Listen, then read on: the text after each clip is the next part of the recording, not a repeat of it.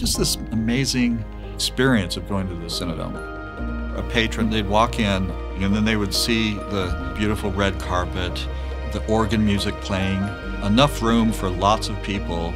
It was all about presentation, all about going to a big movie with a big crowd and experiencing something really special.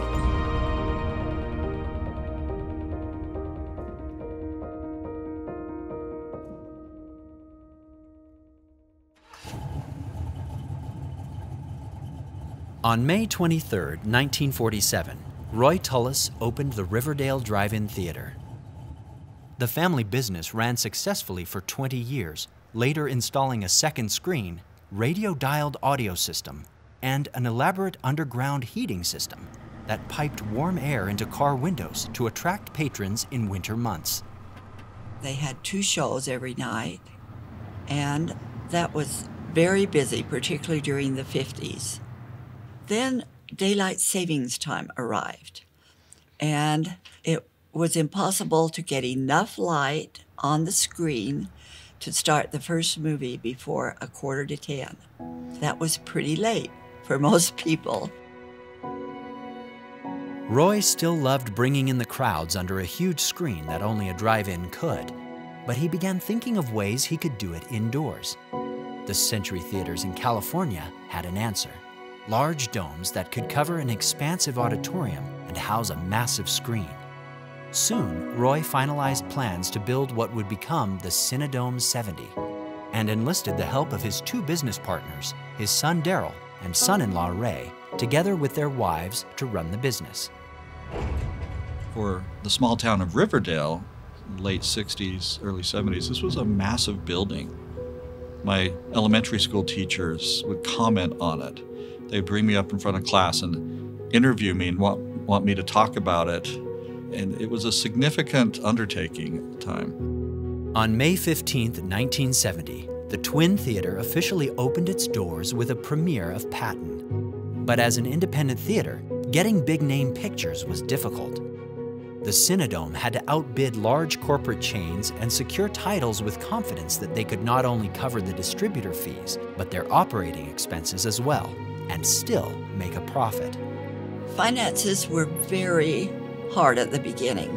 My husband and my brother in law were the projectionists, and my sister in law and myself took the ticket office, and we did all our own cleaning. To increase their audience attendance, the Tullis family realized they could draw crowds and create loyal customers if they dedicated themselves to providing a unique and memorable customer experience that went beyond what was offered elsewhere. Because we were a family run organization, we actually were sort of conscious that we had flexibility and freedom to run this differently. We would go to great lengths to have so much effort put into the presentation of a particular movie. We played this Dracula movie the hearse would show up in, right in front of the theater, and the doors would open, and, and some men would, would wheel this coffin into the middle of the lobby, and then the coffin door would open, and Dracula would get out. And not only the costume, but his demeanor was very authentic, and it sent shivers down the spine of a lot of the employees. We did things like the Grease dance contest. Grease was a really big hit showed Earthquake, and we brought in these massive speakers called Sensurround that were deep bass woofer speakers that would actually shake the seats during the earthquake sequences. When we played 2001 A Space Odyssey, my father invited the astronomy club at Weber State College to come and set up their telescopes out in the parking lot. So when people would exit the theater, they would encounter these really interesting telescopes and could look at the stars. The theater's large lobby, which seemed like a gamble during the design phase, paid off as hundreds of people could fit inside it. To speed up concession lines, an expansive snack bar offered self-serve grab-and-go snacks and popcorn that patrons would pay for at a single counter at the end.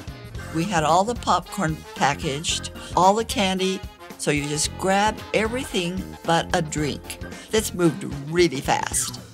Red coated ushers held back crowds until seating was opened, and then did their best to keep order as excited fans rushed to fill the most coveted chairs in each of the 800 seat domes. When the lights dimmed, six tracks of sound washed over them from 10 speakers, while images flickered across a 75 foot screen. But for Cinedome employees, sometimes even this wasn't enough to wow their customers.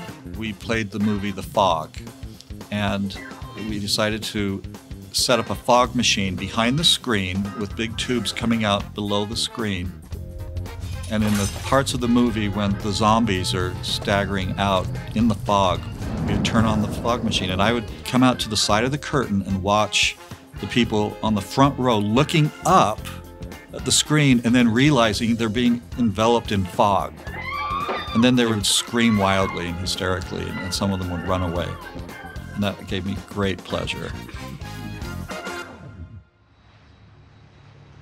On February 1st, 1975, Daryl Tullis, his brother in law Ray Hansen, and Ernest Cannell took off from the executive terminal at Salt Lake City International Airport. 20 miles away, their plane crashed into an empty field in Herriman. All three were killed. Amid the funerals and condolences that followed, many approached Nancy, Daryl's wife, asking her if she would be able to keep the Cinedome running. It was a very frightening prospect of what to do after the plane crash that took my father Daryl Tullis and my uncle Ray Hansen, who were the two partners running that theater.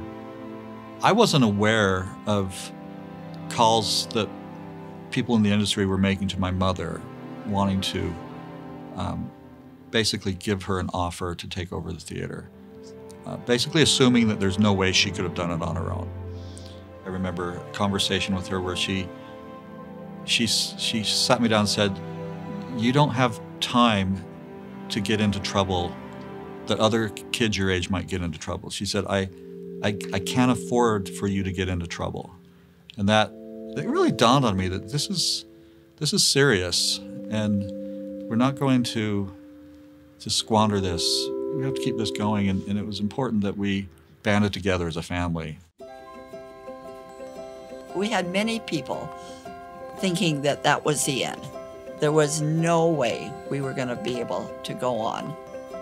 It never entered our mind, really, about selling the theaters. One reason we knew everything how to run that theater. My children grew up helping in the theaters, they were the ushers. I mean, there were so many things that were just miracles into how that theater ever came about that it had to go on, you know. The Cinedome, in many ways, was a reflection of my mother, Nancy Tullis. Her care about employees, her desire to make it not just fun, but really a life changing place to work. A lot of my neighbors, many of my friends worked there, and not just my friends, it was my friends and their parents worked there. One of the biggest nights of the year was New Year's Eve a minute before midnight. We'd stop the movie and we'd come running down in front of the screen and we'd throw candy and the audience would cheer and then we'd run out on the opposite direction and the movie would resume and the audience just would sit there and think, what just happened? This is the most awesome movie theater. but my mother encouraged them. It was her leadership, her kindness that made it such a great place to work. And it never even felt like work, it felt like being a part of something grand. But being an independent family run business had its pains. When bidding on larger films, Nancy Tullis had to commit to an 80% return of all ticket sales to the studios. In 1977, when the first Star Wars film became available, she had to advance $50,000 to secure it. I went to the screening in February. My mother said, There's this science fiction movie that I want you to go see. Tell me if you like it. And I, I, saw, I saw Star Wars. I showed up to school the next Monday. I felt like I was Moses coming off the mountain. And I said, Okay, friends, dudes, you have no idea what's coming in May. It's a movie that will change everything. The gamble paid off. Star Wars' appeal to so many ensured a six month run at the Cinedome for the unexpected blockbuster.